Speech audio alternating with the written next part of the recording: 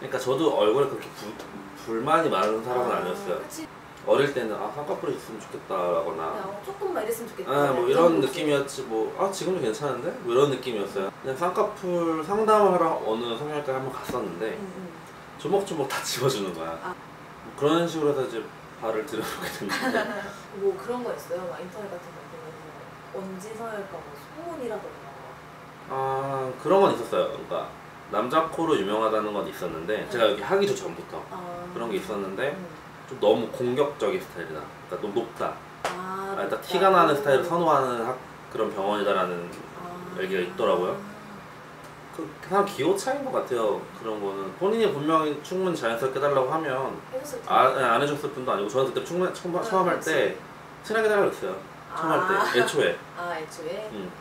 나이가 들면 좀 바뀌더라고요.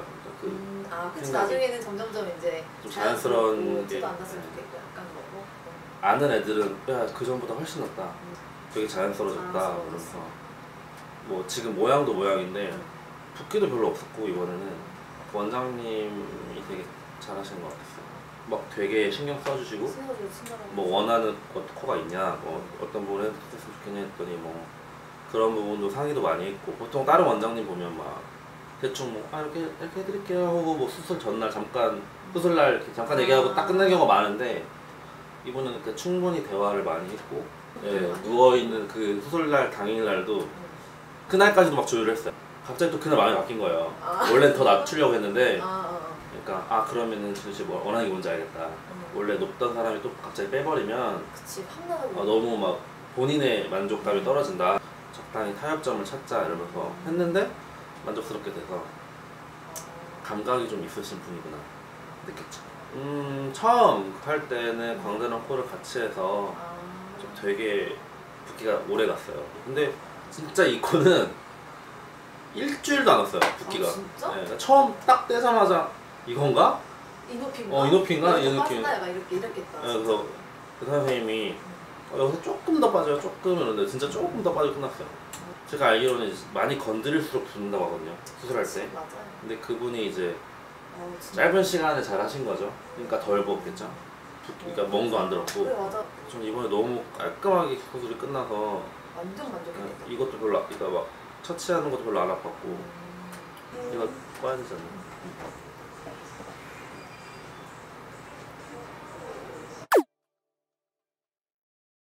제가 친구들 따라서 갔는데 다 실장님이 상담을 해주더라고요. 사진도 안 찍고 사진 안 찍는데 뼈가 얼- 얼만큼 얼만큼 자를 수 있는지 그런 거 모르잖아요. 저는 그, 그날 갔을 때 실장님이랑 상담하고 원장님이랑 상담해서 원장님이 음. 이 정도 이렇게 이렇게 라인 나오겠다라고 말을 해주셨거든요. 원장님이 보셔서 직접 얘기를 해주시고 그 확답을 듣는 게 제일 중요한 것 같아요. 근데 진짜 얼굴 작다라는 얘기를 예전에 수술 전에도 몇 번 듣기는 했었는데 음. 수술하고 나서는 그냥 하루에 한 번은 무조건 듣는 것 같아요. 아주 가족들한테 말 안 하고 아 그래가지고. 진짜? 얼굴이 작아졌어. 뭐 했을 주사 맞았어. 그냥 근데 어른들 약간 성형에 설마 네가 뼈를 깎았을까 이런 거. 그냥 라인이 여기가 이렇게 둥그런데 그게 조금 위로 올라가니까 살 빠진 것처럼 보이나 봐요.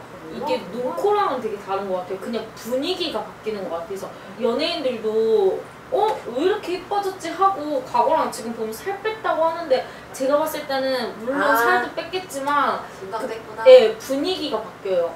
각섬이 있어 보이고 더 여성스러워진다고 해야 되나? 뭐 환자를 너무 가족같이 하다 보면은 조금 가끔 불쾌할 때 있거든요. 근데 여기는 진짜 뭐 무슨 검사하시는 분 있고 어디 있고 그래서 딱 그냥 번호표 주고 몇 층으로 가세요? 몇 층으로 가세요? 이게 불편한 것도 있었지만 아 이만큼 체계적이다라고 약간 생각이 들어서 어, 뭔가 더 안정감도 들고 그런 건 되게 안심됐던 것 같아요. 저는 입원했을 때 선생님들 너무 친절해서 침 막 흘리면 침 닦아주고 뭐 물 먹여주고 다 닦아주시고 머리까지 다 묶어주시고 막 그러는 거예요. 엄마가 아. 해줄 수 있는 정도의 그런 그 뭐라고 해야 돼 이렇게 간호를 해주시는데 거기서 진짜 감동 먹었어요.